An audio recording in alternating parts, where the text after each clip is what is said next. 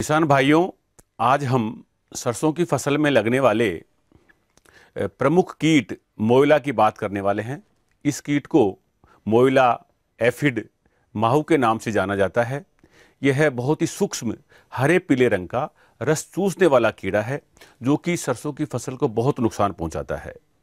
पौधों का रस चूसकर पौधे को कमज़ोर कर देता है और इससे उपज और दाने का आकार छोटा रह जाता है।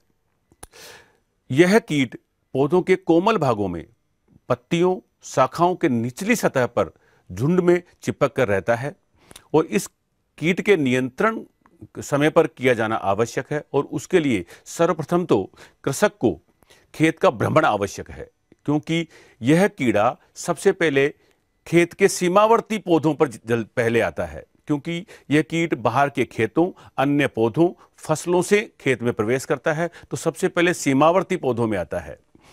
तो यदि कृषक सीमावर्ती पौधों का भ्रमण करके देखता रहे तो इस रोग से कुछ हद तक बचा जा सकता है। और सीमावर्ती पौधों में अगर संक्रमण देखा जाता है तो उसी समय उस उन शाखाओं को तोड़कर नष्ट कर देना भी फ़सल के में इस कीड़े से बचा जा सकता है।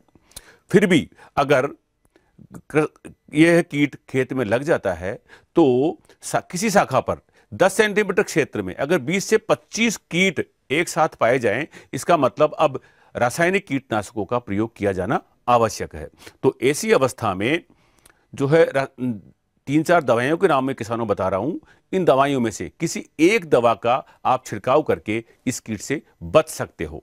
सबसे पहली दवा का नाम बता रहा हूँ मैं, डायमेथोएट नाम की दवा आती है, थर्टी ईसी इसका आठ सौ प्रति हेक्टर की दर से छिड़काव कर सकते हैं।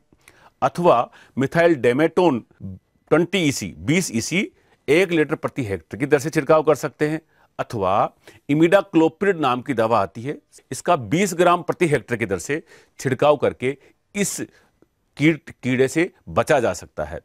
एक नीम आधारित बायोपेस्टिसाइड भी है, उसका मतलब पाँच प्रतिशत सत का, नीम की निमोली का पाँच प्रतिशत सत का छिड़काव करके भी इस कीट से बचा जा सकता है। इस प्रकार से किसान भाइयों ये प्रयोग करके इस कीट से बचकर अपनी सरसों की फ़सल की अच्छी उपज प्राप्त कर सकते हैं।